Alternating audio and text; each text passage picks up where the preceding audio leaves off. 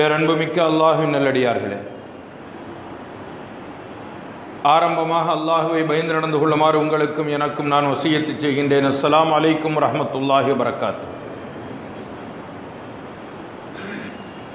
அன்பிற்குரியவர்களே இஸ்லாத்தினுடைய அடிப்படையான கொள்கைகளில் ஒன்று எதை நம்ப மறுக்கும் பொழுது ஒரு மனிதன் இஸ்லாமிய வட்டத்தை விட்டு வெளியேறுகின்றானோ அத்தகைய மிக முக்கியமான நம்பிக்கைகளில் ஒன்று மறுமையின் நம்பிக்கை. மறுமையினுடைய அடையாளங்களை நம்புவதும் மறுமையை நம்புவதும் அது ஈமானுடைய அடையாளம்.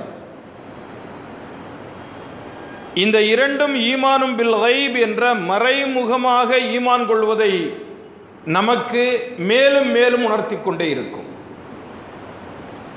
இந்த உலகத்தில் பார்க்கின்ற அத்தனையும் நாம் நம்புகின்றோம். வெளியே செல்லக்கூடிய நேரத்தில் நாம் பார்க்கின்ற அனைத்து பொருள்களையும் நம்புகின்றோம். நம்முடைய கண்களுக்கு தெரிகின்ற அனைத்தையும் நம்புகின்றோம். அல்லாஹ் சொல்கின்றான் நீங்கள் எவைகளையெல்லாம் பார்க்கின்றீர்களோ அவைகளெல்லாம் பொய்யானது. எவைகளையெல்லாம் நீங்கள் பார்க்கவில்லையோ அவைகளெல்லாம் உண்மையானது. நாம் மறுமையை பார்க்கவில்லை அல்லாஹுவை பார்க்கவில்லை அல்லாஹினுடைய ரசூலை பார்க்கவில்லை மலக்குமார்களை பார்க்கவில்லை. நாளை மறுமையினுடைய நம்பிக்கையை நாம் எப்படி மனதில் வைத்திருக்கின்றோம் என்றால் பார்த்தால் ஒன்றை எப்படி நாம் நம்புவோமோ அதை விட அதிகமாக நாம் நம்பிக்கையை வைத்திருக்கின்றோம். தொழுகின்றோம் மற்றவர்களுக்கு தான தர்மங்களை செய்கின்றோம் ஹஜ்ஜு செய்கின்றோம் ஜக்காத்து கொடுக்கின்றோம். நம்மால் முடிந்த அளவிற்கு எவைகளெல்லாம் நன்மைகள் என்று தெரிகின்றதோ அவைகளை எல்லாம் செய்கின்றோம். குரான் சொல்லுகின்றது லைசல் பிர்ரா அன் துவல்லு உஜூஹக்கும் கிபலல் மஷ்ரிகி வல் மக்ரிப் தொழுகையின் பொழுது மிகவும் வேடிக்கையாக நீங்கள் தொழுகின்றீர்களே. இது மேற்கு திசைத்தானா இது காபாவை நோக்கியதுதானா என்று மிகவும் கவனமாக கேம்பஸ் வச்சு அதை ஆராய்ந்து நீங்கள் பார்க்கின்றீர்களே. அதற்காக வேண்டி நேரம் மெனக்கிடுகின்றீர்களே. இவைகள் மட்டும்தான் நம்பிக்கைக்குரியது இவைகள் மட்டும்தான் நன்மைக்குரிய காரியங்கள் என்று நினைக்கின்றீர்களா? அல்ல. இவைகளிலேயே உங்களுடைய ஓர்முகத்தன்மையை நீங்கள் முண்டிக் கொண்டிருந்தீர்களே ஆனால் இவைகளை நம்புவது அல்ல உண்மையான இறை நம்பிக்கை என்பது. ஒலா கிண்ணல் பிர்ரமன் ஆமனபில்லாய் பில்லாய் அல்லாஹுவையும் நாளை மறுமை நாளையும் யார் நம்புகின்றாரோ அவருடைய ஈமான் தான் நம்பிக்கைக்குரியது நன்மைக்குரியது. குரானுடைய பக்கங்களை நீங்கள் புரட்டி பார்த்தால் எந்த ஒரு பக்கமும் ஆகிரத்தை பற்றி செய்தி சொல்லாமல் அதற்கு பிறகு திருப்பவே முடியாது. எல்லா பக்கங்களிலும் ஆகிரத்தினுடைய செய்தி இருக்கும். சூரத்துல் ஃபாத்திஹாவை எடுங்கள். மாலிகிய தீர்ப்பு நாளின் அதிபதி.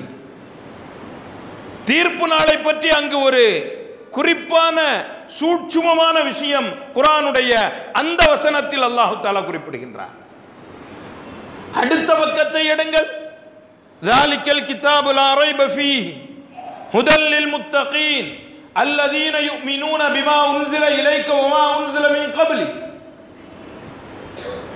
அல்லாஹ் சொல்லிக்கொண்டே வரும் பொழுது அல்லதீன யுமினூன பிமா உன்சில இலைக்க ஒமா உன்சில மின் கபலிக்க வபில் ஆகிரத்திஹும் யூக்கினூன் அவர்கள் இந்த வேதத்தையும் நம்புவார்கள் இதற்கு முன்னால் உள்ள வேதங்களையும் நம்புவார்கள் மறுமையை ஈமான் கொள்வார்கள். காரணம் இந்த உலகத்தை விட மறுமை முக்கியமானது.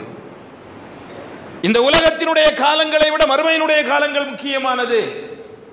இந்த உலகத்தினுடைய அளவை விட மறுமையினுடைய அளவு முக்கியமானது. இந்த உலகில் வாழ்வதை விட மறுமை வாழ்க்கை முக்கியமானது. இந்த உலகம் இந்த உலகத்தினுடைய பரப்பளவு வானம் வானத்தினுடைய பரப்பளவு.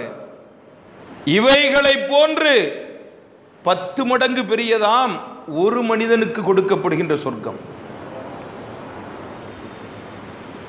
அல்லாஹ் நமக்கு ஆர்வம் ஊட்டுகின்றான் சாபிகு இலா மக்ஃபிரத்தின் மிர் ரப்பிக்கும் வ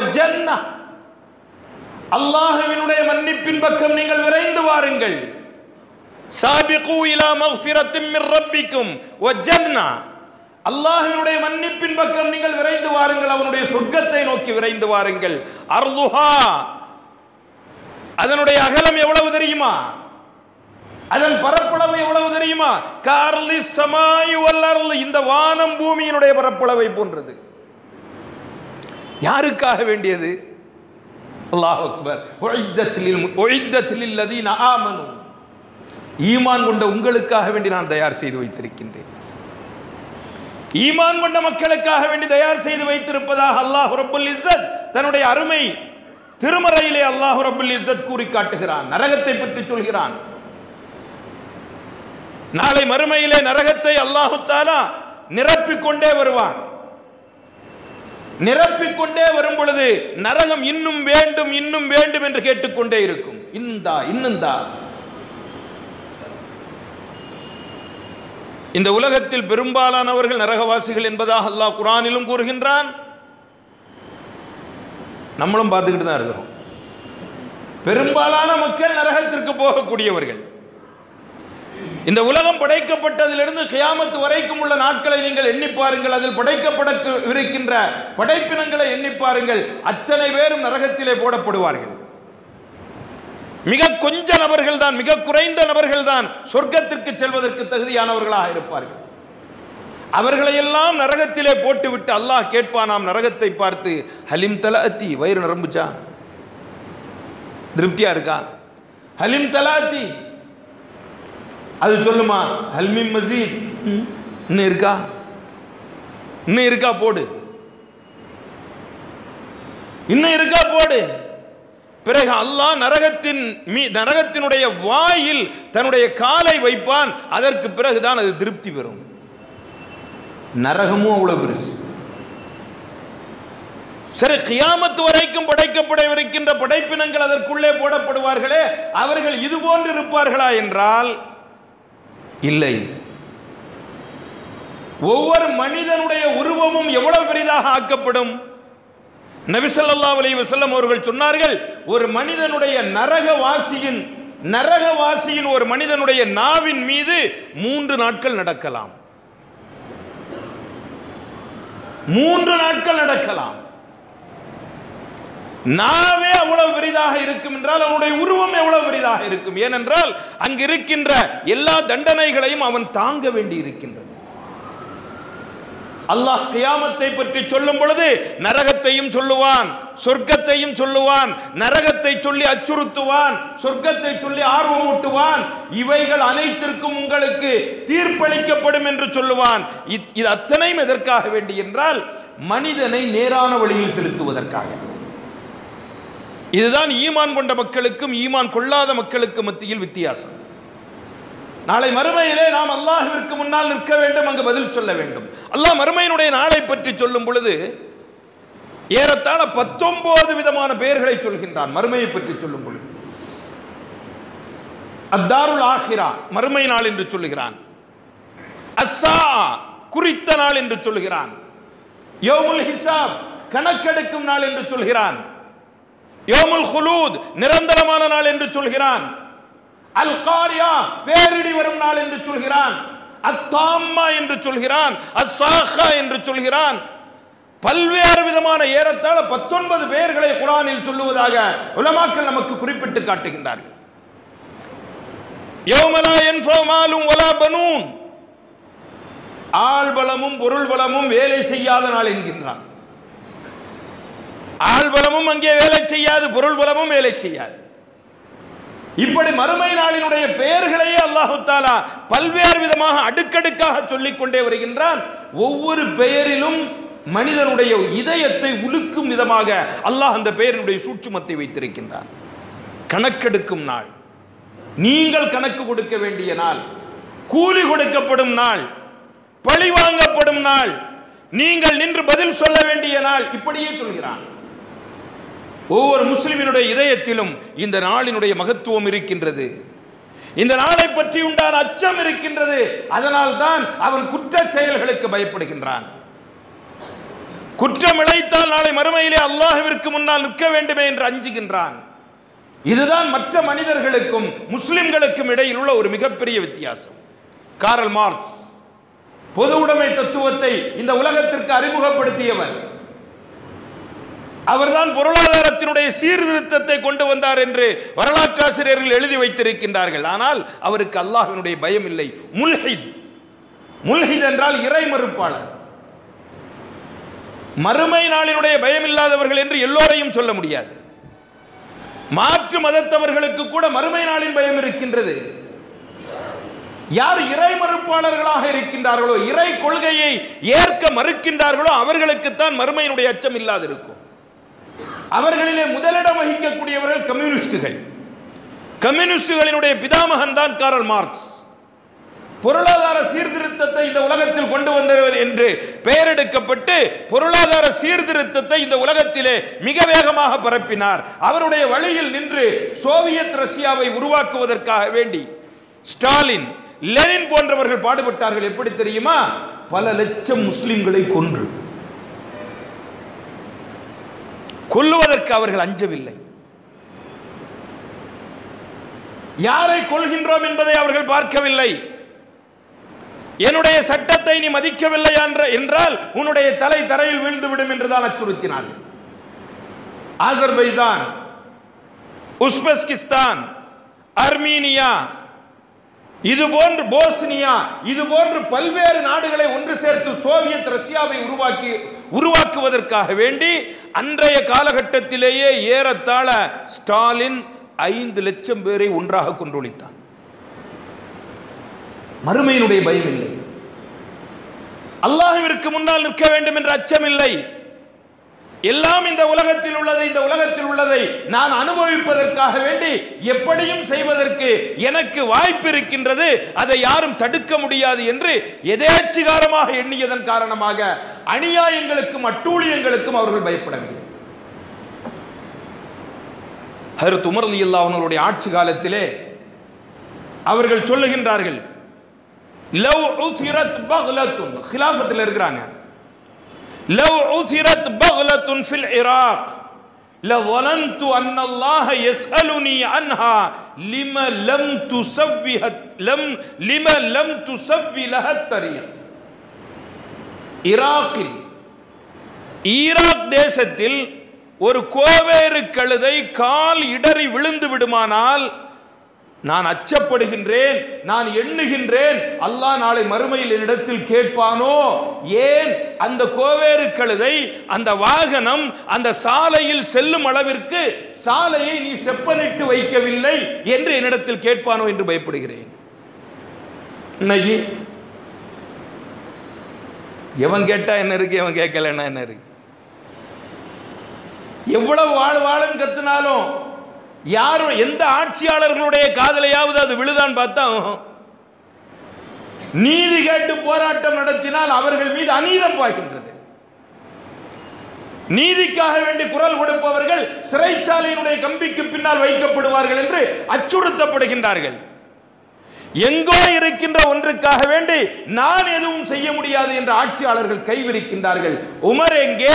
இன்றைய ஆட்சியாளர்கள் எங்கே உமர் அலி அல்லாவனருடைய இந்த ஆட்சியினுடைய சூழ்ச்சுமம் என்னவென்றால் நாளை மறுமையில் நான் பதில் சொல்ல வேண்டும்.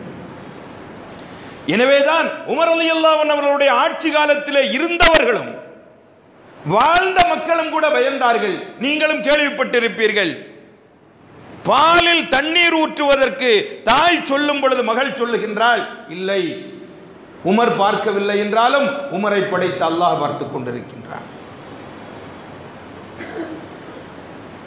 அப்படி என்றால் மறுமையினுடைய அச்சம் ஒவ்வொருவருடைய நெஞ்சிலும் இதயத்திலும் எல்லா நேரங்களிலும் கனன்று கொண்டிருக்கின்ற தீப்பிழம்பாக இருக்க வேண்டும். அது இருக்கின்றதா? அத்தகைய அச்சத்தோடு நாம் வாழ்கின்றோமா? மறுமை வந்துவிடும் என்ற பயத்தில் நாம் இந்த உலகத்தில் இருக்கின்றோமா என்று பார்த்தால் அது ரொம்ப கஷ்டம். இன்று நடக்கின்ற செய்தி இன்றோடு முடிந்துவிடும். இன்றைக்கு எனக்கு என்ன லாபம்? அதை பார்த்துதான் முஸ்லிம்களும் வாழ்கின்றார்கள் முஸ்லிம் அல்லாதவர்களும் வாழ்கின்றார்கள்.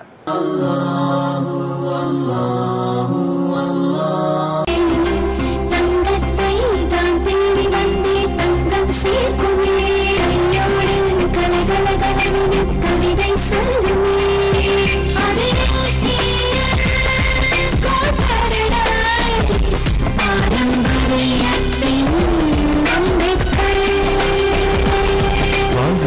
சேர்க்கும் தங்கத்திற்கு cathedral road LKS school paradise Chennai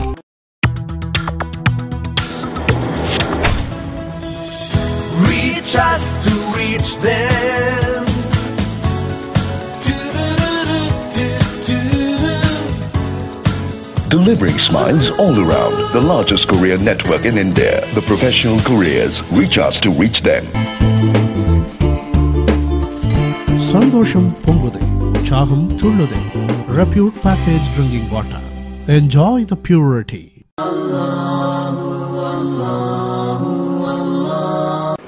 இப்படி வரக்கூடிய இந்த மறுமை எப்போது வரும்? இது ஒரு பெரிய பில்லியன் டாலர் கேள்வி. மறுமை எப்பொழுது வரும்? நீங்கள்லாம் எப்படி மனசில் நினைக்கிறீங்களோ அதே போல முஷிரிக்கீன்கள் நினைக்கல. நினைச்சதை ரசூலுல்லாஹி ஸல்லல்லாஹு அலைஹி கேட்டுட்டாங்க. எஸ் அலூனக அனி சாத்தி ஐயா முர்சாஹா முகம்மதே சும்மா என்ன பூச்சாண்டி காட்டிக்கிட்டே இருக்கிறீங்க? மர்ம வரும் மர்ம வரும் மர்ம வரும் பயந்துருங்க. நபி அவர்களினுடைய பதிமூன்று ஆண்டு கால வாழ்க்கை சஹாபாக்களுடைய உள்ளத்திலே மறுமையினுடைய சிந்தனையை விதைப்பதற்காகத்தான் செலவிடப்பட்டது. பெரிய சட்டங்கள் இறங்கவில்லை. மிகப்பெரிய பேணிக்கையான விஷயங்கள் இறங்கவில்லை.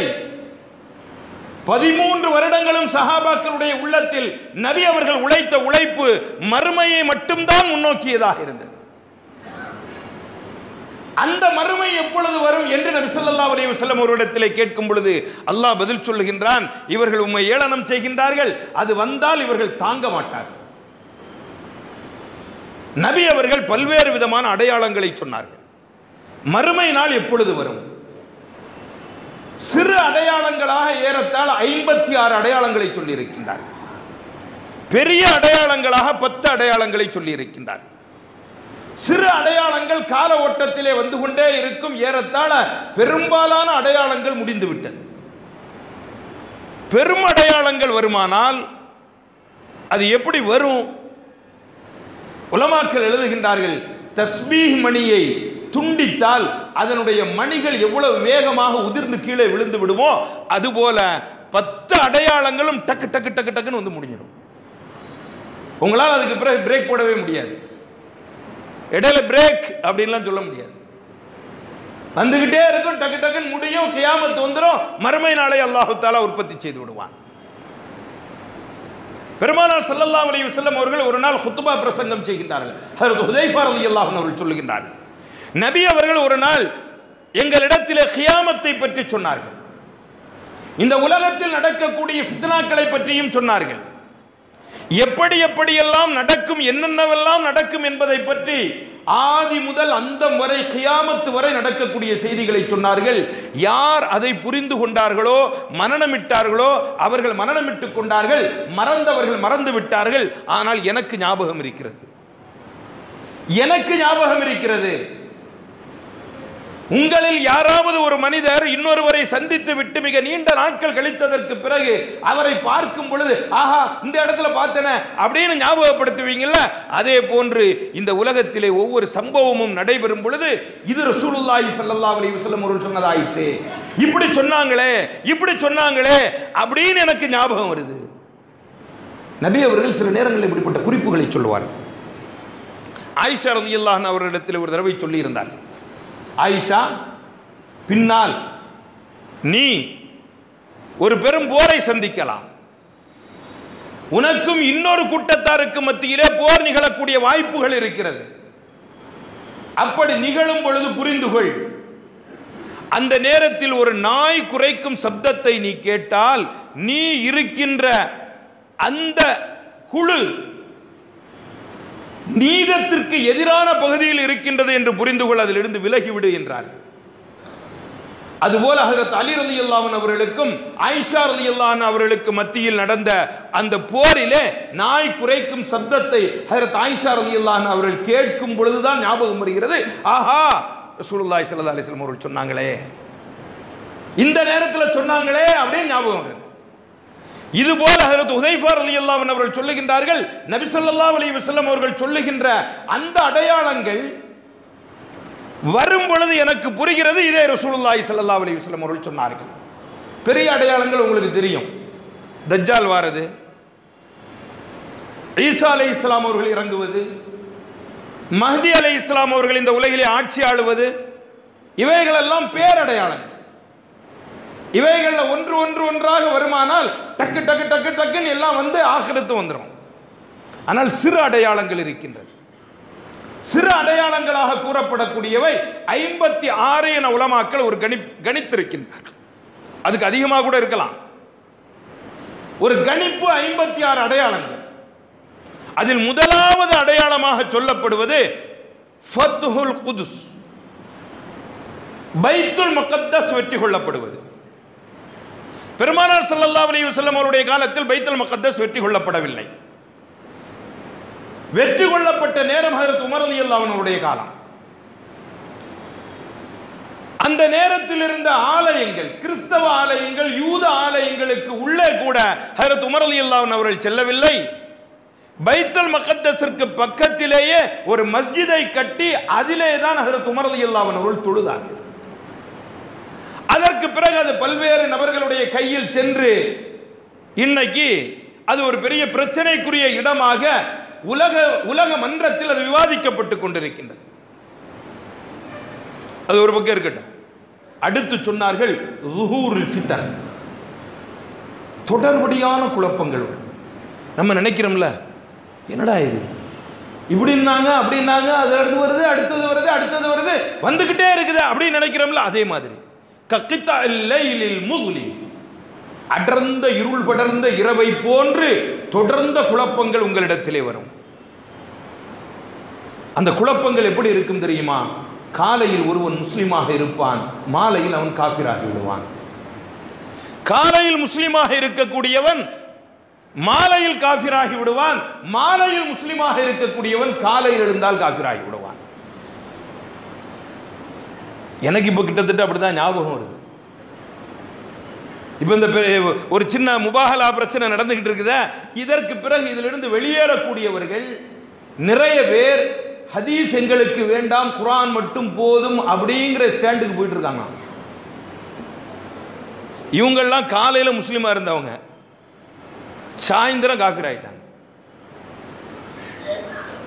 இவர்கள நிறைய பேர் எ- முகாமை காலி செய்யும் பொழுது நம்பிக்கையே மாறி போய் கொண்டிருக்கின்ற ஒரு நிலைமை ஏற்படுகிறது. பெருமானார் சல்லல்லா அலி வசல்லம் அவர்கள் அந்த ஹதீஸிலே குறிப்பிடுகின்றார்கள் அடுத்தடுத்து உங்களிடத்திலே அந்த ஃபித்னாக்கள் வந்து கொண்டே இருக்கும். நாம பார்த்துக்கிட்டே இருக்கிறோம். திருட்டு குற்றம். பிடிபடக்கூடியவர்கள் முஸ்லிம்கள். குடிக்கின்றார்கள். பிடிபடக்கூடியவர்கள் முஸ்லிம்கள். இப்போ பிடிபடணும் என்றால் ஏதோ காவல்துறை வந்து பிடிக்கணும் சிபிஐ எல்லாம் பிடிக்கணும் அப்படிங்கிற அவசியம்லாம் இல்லை. இப்போ அக்கம் பக்கத்தில் இருக்கிறவனே வீடியோ எடுத்து ஃபேஸ்புக்லையும் வாட்ஸ்அப்லையும் போட்டு விட்டுறான். ஆம்பளை முஸ்லிம் ஆண்கள் குடிப்பதெல்லாம் முஸ்லிம் பெண்கள் குடித்துக் கொண்டிருக்கின்றார்கள் என்ற செய்தி அதிர்ச்சியாக இருக்கிறது. நம்முடைய பிள்ளைகளை நாம் மிகவும் கவனமாக வைத்திருக்க வேண்டிய நேரம் ஃபித்தன் ஏனென்றால் கியாமத்தினுடைய நெருக்கம் வந்து கொண்டிருக்கின்றது. இந்த சிற்றடையாளங்களை நபி அவர்கள் மிகவும் குழப்பத்தின் அடையாளங்களாக நமக்கு வெளிக்காட்டினார்கள். மூன்றாவது நபி அவர்கள் துவா செய்கின்றார்கள். அல்லாஹும் பாரிக்கலனா ஃபீ சாயினா அல்லாஹும் பாரிக்கலனா ஃபீ முத்தினா. யா அல்லாஹ் எங்களுடைய அளவு நிறுவைகளில் பறக்கத்தை செய். அல்லாஹும் பாரிக்கலனா ஃபி ஷாமினா வ யமனினா. யா அல்லாஹ் சிறிய தேசத்திற்கும் எங்களுடைய யமன் தேசத்திற்கும் நீ பரக்கத்து செய். இப்படியே தொடர்ந்து சொல்லிக்கொண்டே இருக்கும் பொழுது ஒரு நபித்தோழர் எழுந்து கேட்கின்றார் யா யார் சூழல்லா நஜிது தேசத்திற்கும் நீங்கள் துவா செய்யுங்கள். நபி அவர்கள் சொன்னார்கள் ஷெய்தானுடைய கொம்பு அங்கிருந்து தான் முளைக்கும் ஃபித்னாக்கள் அங்கிருந்து தான் உருவாகும் எனவே நான் துவா செய்ய மாட்டேன். நாம எல்லாம் நினைச்சுக்கிட்டு இருந்தோம். நஜித் என்பது எங்க இருக்குதுன்னா சவுதி அரபில் இருக்கு. ஏறத்தாழ இன்றைக்கு அதனுடைய தலைநகராக இருந்த இருக்கக்கூடிய ரியால் என்ற அந்த பிரதேசத்தினுடைய முழு பகுதியும் நஜித். இந்த பகுதியிலிருந்து எப்படி குழப்பங்கள் வரும்? காரணம் சவுதியை ஆண்டு கொண்டிருக்கக்கூடியவர்கள் ஹாதிமுல் ஹரமேனி ஷரீஃபை.